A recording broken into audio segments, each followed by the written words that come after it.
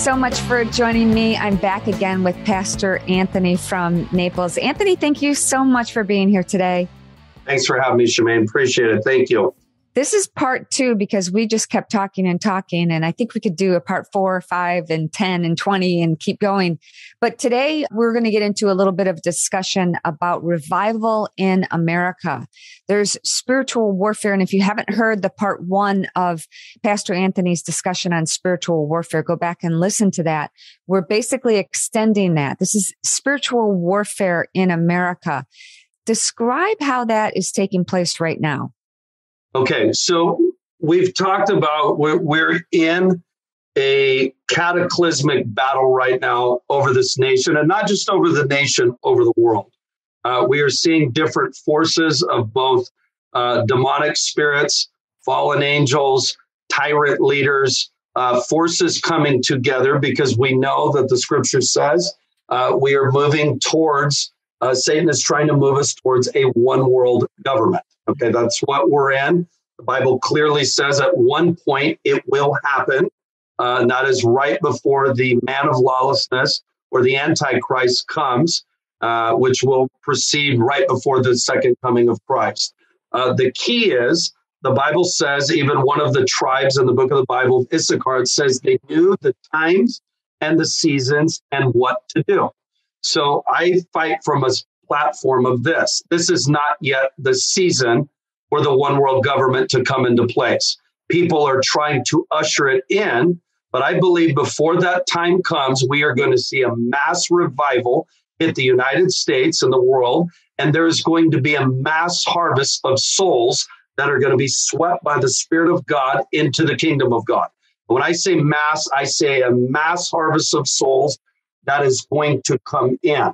So, because I know that that is the timing, uh, that's the platform from which I fight.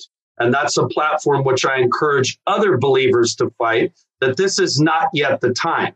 The enemy is trying to rush it into the time uh, because he knows his days are short.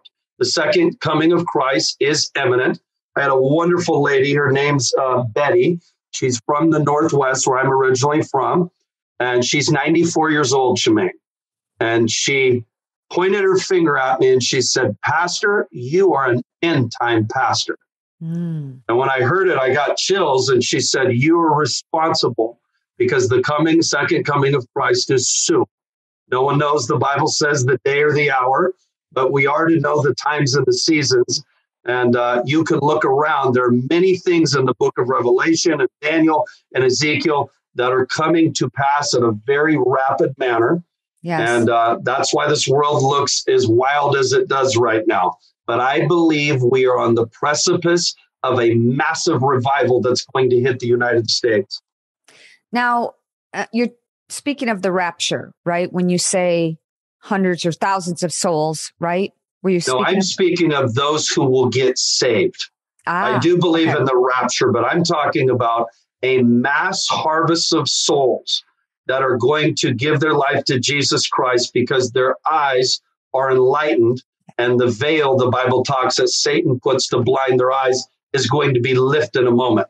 I know that happened in my own personal life, you know, 20 some years ago coming out of the Marines and I'd heard the gospel many times. I was very resistant towards it. And one day when I heard it, the veils were lifted and I knew yeah. two things, Shemane. I knew number one, if I died, I'd earned a one way ticket straight to hell. And I knew number two, if Jesus was real and he died for me, I did not want to resist that offer for him to save my soul. That's awesome. And I love, you know, when we've had conversations almost every day, because you've been a big help to me and my family and friends. And, you know, the situation that's going on in the world can look pretty bleak. Yes. And a lot of people have come to me and said, what do we do? What can we do? My suggestion is eyes on Christ. Mm-hmm. If we have God in our lives, if we have a personal relationship with God, sure, there's a food shortage. Sure, there's inflation. Yes, the border crisis is outrageous. There's so mm-hmm. many things right now that are leading so many people to, to number one, be so confused and disheartened. Um, but number two, then growing stronger in their faith. And like me, I, I don't have to do things like this. I feel called to do things like this and help wake people up. If I can wake up one person, then it, I'm happy. And I feel like so many people like me who aren't biblical scholars, there are a lot of people who are hesitant to be outspoken about the Bible and outspoken about their faith. But don't you think the time is now for people to to get on that train? It's about to leave. Absolutely, Shemane. And the wonderful thing with Jesus is this. If you looked at the team of individuals he chose, most of them were not scholars. Mm. yeah. In fact, he only had two scholars in his bunch. One was Judas, who ended up betraying him, and the other was Paul, who went through a very radical uh, transformation uh, in, in the process. The rest were everyday people that were living life. The Bible says they were uneducated and untrained, but the book of Acts says, but they knew Jesus. And that's all that matters. Do you know him? Do you love him? And if the answer is that yes to that, then he has a plan and a destiny and a calling. And the reason, just like you said yourself, you don't have to do this, but your spirit inside of you is telling you that this is your destiny. And all of us have a destiny. And uh, all of us also will have to answer to the next generations what did we do in this moment? Did we stand for freedom? Did we fight? Or is this country going to be lost in our generation? That's yeah. where we're at. So, what would you recommend? How can people become intercessors? How can, if they've never done anything like that before, what would you recommend to, to someone who wants to get involved and to do more? Okay, so it, the word intercession you use is a powerful one. It literally means to stand in the gap. Okay, so number one, you just spend time in the presence of God. Okay, Jesus talks about this. He says, "Hey, go find a secret place or a private place where you can just get before God." Okay, some people like going outdoors, some in their house, some in a church, or there's all types of venues, but where you can get in the presence of God. And when you get in the presence of God, something powerful happens. God begins to release his heart to you and I. And once you have the heart of God in a matter, then you know how to pray. And that's why it's a powerful thing. So once you get the heart of God for this nation, listen very closely, Shane. This is what we're in the battle. Satan right now is trying to remove the identity of the United States. Yeah. Our identity as an eagle was a nation that would usher freedom throughout the world. Now, have we done it perfect? No, neither has any other nation. But have we done it well? Yes, and it is our identity. If you remove someone's identity, you remove their destiny. Because if you don't know who you are, then you won't know how to react in a matter.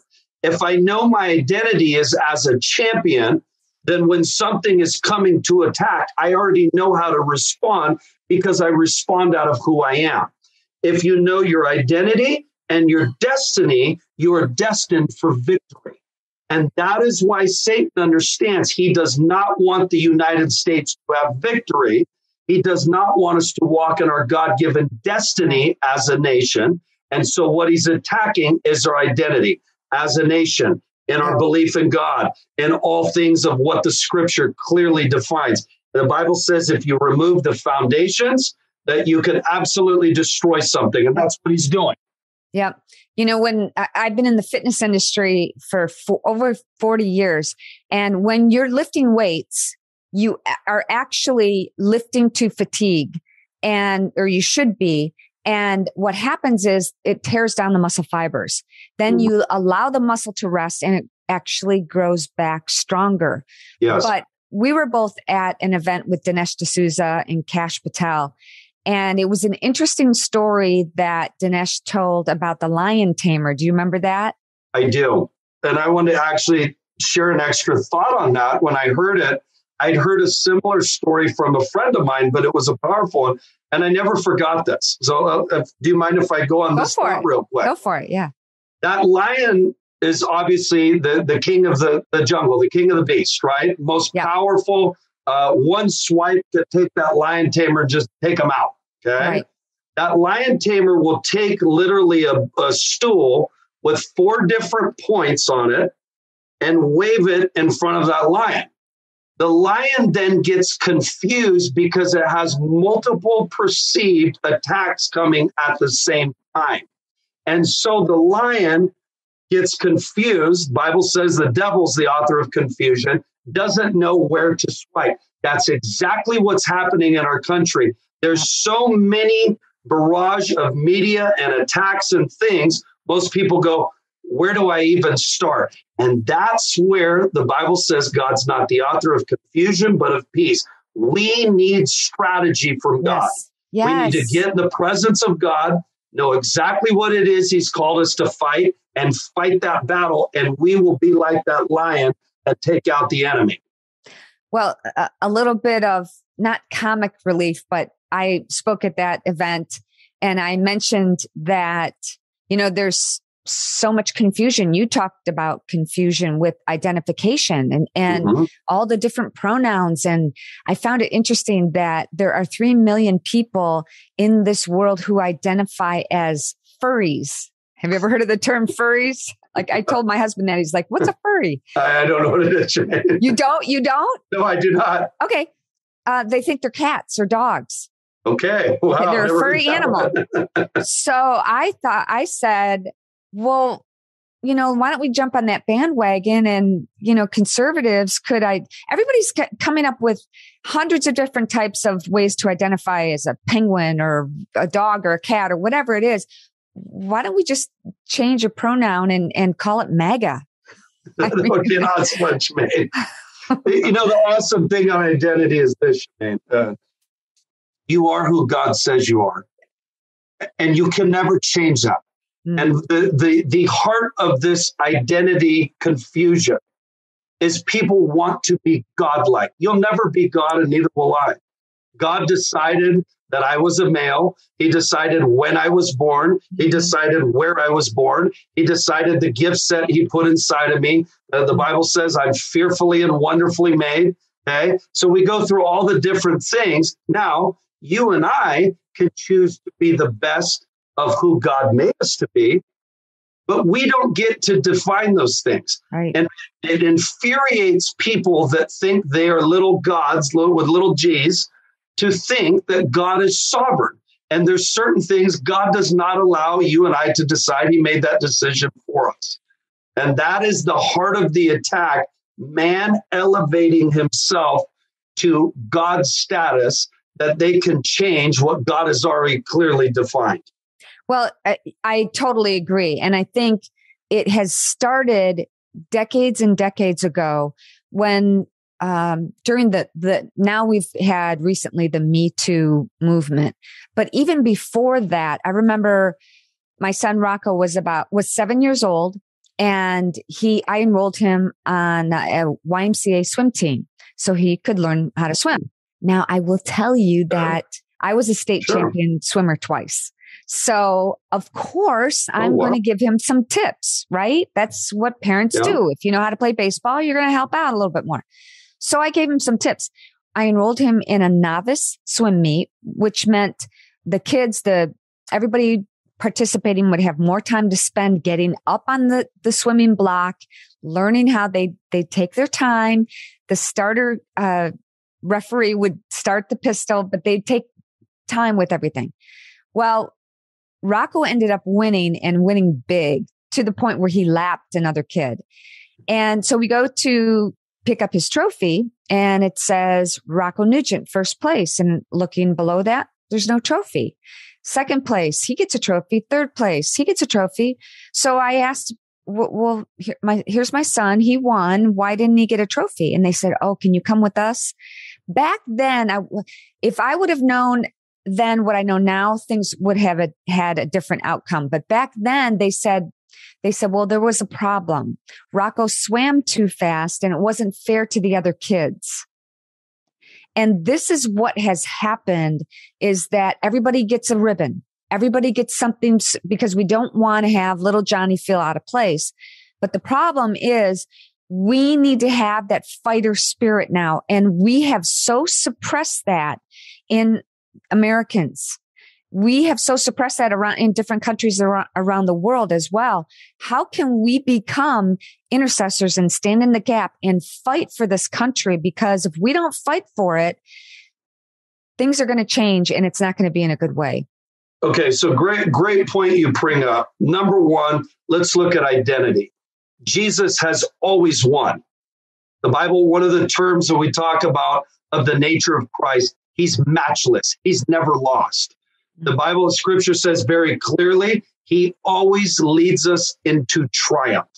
So, number one, we as believers should have an identity as one who is a victor or an overcomer. Okay. Period. That's why that whole movement, and I, I played sports, but I was before that time period where you didn't get a trophy unless you earned it. Okay. And I thank God for that. But what it did, it was very intentional to remove the fact that there are real winners and there are real losers. Satan is the ultimate loser. If you look in the scriptures, there's multiple falls of Lucifer. I call it, he's the CEO of the toilet bowl ministry. Okay. He fell from heaven. He's going to get knocked out of heaven. He's going to fall to the earth. Then he's going to get thrown in the bottomless pit for a thousand years. And then he'll come up and he's going to lose again and be thrown in the lake of fire for eternity. He is a loser. And if you join his cause, you're on the losing team. So, number one, we have to look at identity. And I tell people, because uh, I understand what it's like living in darkness, I was there and I lived it to the fullest before I got saved. And I thank God that God transferred me from a losing team to a winning team. But this scripture is one of the ones that is pivotal. It's in Matthew 11, 12, and this is what Jesus said. He said, from the days of John the Baptist until now. So we have to look at there was a small period that the prophet, John the Baptist, represented a prophetic voice. This is why, Shemane, they're trying to shut down voices. Mm-hmm. If you are a powerful, clear, clarion voice, they will try to shut you down because Jesus said, John the Baptist, the voice of one who was crying in the wilderness, that's why you and I, we have a cry inside of us. There's something inside of us that says, I cannot be silent in this moment. So from the days of John the Baptist until now, that's the first coming of Christ, the kingdom of heaven suffers violence. We're watching it. Okay. Uh, everything from freedom to love to goodness to decency, morality, it's all under attack. Okay. But the violent take it by force. Now, this is not talking about, Jesus is not talking about physical violence. He's talking about spiritual violence. He's talking about like that guy that I mentioned. I don't know if it was in this one or the last time we talked that snatched his dog out of the jaws of an alligator. Okay. He said, You're not taking my dog. Well, guess what? There should be a cry inside of us that says, number one, we are not going to be a post Christian nation. Okay, we were founded on Christ. Number two, we're not letting our children being swallowed up by evil. Okay, Isaiah the prophet said there was a day where they would call good evil, okay, and evil good. We live in that day. Everything's right now. Right, right now. now. Number three, we refuse to be silent because the second you go silent, listen, before the revival comes, like it did the first time, Prophets right now, voices are fighting the enemy. He's terrified of voices. And do you know why, Shemane? The scripture why? says Jesus' voice is like the sound of many rushing waters. He can't stop it. He's terrified because these voices come from all angles. And when he tries to silence one, another one pops up and they keep coming and they keep coming. Why? Because the scripture says Jesus releases his sword from his mouth, his words. Our only offensive tool in the spiritual battle is our words. And the second we go silent, we have been neutralized by the enemy. So I want to encourage you, if you're listening to this podcast, do not be silent. Do not let the enemy muzzle you. Do not go silent. Make sure you're speaking of the Lord. But when you know it's Him, the Bible says the righteous are as bold as a lion speak up and stand up. Amen. Amen. I I told you that I went through a deliverance uh, about six months ago, and I it affected me physically and emotionally, obviously, but it wasn't until I said certain uh, prayers, spiritual warfare against spiritual warfare, against Leviathan, against Satan, against all of these other entities, which we're going to have to do another podcast and get yes. into all the entities. But you have to open your mouth, right? And say yes. this out loud. I'm sure my husband thinks I'm crazy, but I've gotten to the point where I really don't care anymore. no, it's not crazy because if you remember when Satan came to tempt Jesus himself and they were in the yeah. first punch up, okay, Jesus never responds, says, It is written. Every time Satan came to tempt him, he came with the spoken word and absolutely annihilated him because that word is the sword that proceeds from God's mouth. So we have to be vocal. Uh, to the demonic realm. We also have to be vocal right now uh, to people around us. Okay. I'm not afraid to share what I believe. And I, and I would challenge the viewers today. You need to ask yourself if you're afraid to share what you believe, you really don't believe it at all. Yeah. Now, that does not mean mm-hmm. that we don't feel feelings of fear. All of us do. And that does not mean that we don't pay costs to speak what we believe. I certainly have. Okay. But I can tell you this at the end of the day, your confession of faith and what you believe and the power of that spoken word uh, is what you will be judged by in eternity. Number one, what did you actually believe? And number two, those words, one of the greatest passages of the Bible, when Jesus was speaking to his disciples on the road to Emmaus, they didn't know it was him. And then when they figured out it was him, this is what they said. They said, we knew it was Jesus because our hearts literally got set ablaze by his words. Our hearts burned from within us. People's hearts right now are cold, they're afraid, they're confused. But the power of the spoken word can take a heart and encourage it. Encourage means to literally impart courage into someone. We need courage right now like we've never had before. We do. Well, Anthony, we're going to have to keep doing this more and more of these because there's so much great information that you have to share with everybody. But I'm going to uh, have to close for now. Can okay. you close us out with a prayer, please? Absolutely. I'd be honored to. Father, we thank you today for this time and this place. God, I lift up our nation right now, the United States of America. God, I'm asking right now for your revival presence to come. God, we know unless you move on behalf of this nation, God, the scales will be tipped in the wrong direction. But God, we're asking right now, you said when sin abounds, grace will abound more.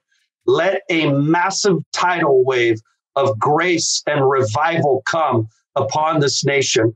God, I'm praying right now as people listen to this, set their hearts ablaze. Let them know, number one, how much you love them and what an important place they have in this battle. And let them be those who did not, as your word says, faint in the day of adversity, but let them stand and strengthen courage, knowing that God, you are for us. And if you're for us, who can be against us? We thank you and we honor you. God bless Shemane.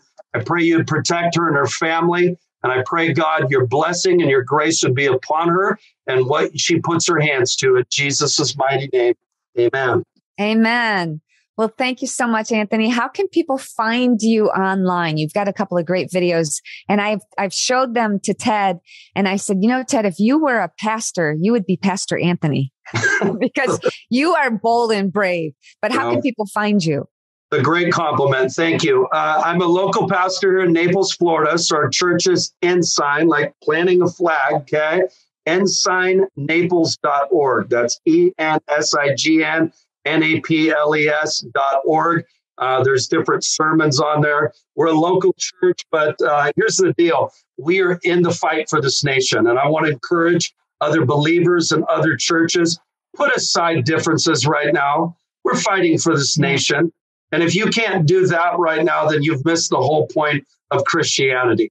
Let us come together and let us be, as the scripture says, not those who fainted in the day of adversity. Mm. So ensignnaples.org.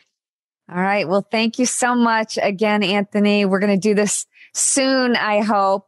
I hope everyone watching, I hope you have a great day and make it a great day. Do something healthy and happy for you today. If you haven't already heard part one of my discussion with Pastor Anthony, go back and check that out because it's very, very informative. All right. I'll see you guys and talk to you very soon. Have a great day, everyone. Bye bye. All right, guys, I'll talk to you next time. And if you want to find out more about the superfood nutrition that my husband and I take and that has changed our lives, please email me at wildlywell21 at gmail.com. That's wildlywell, W I L D, wildly well21 at gmail.com because there are so many different products and I want to make sure you get what you need. All right, guys, I'll talk to you next time. Have a great rest of your day. Bye for now.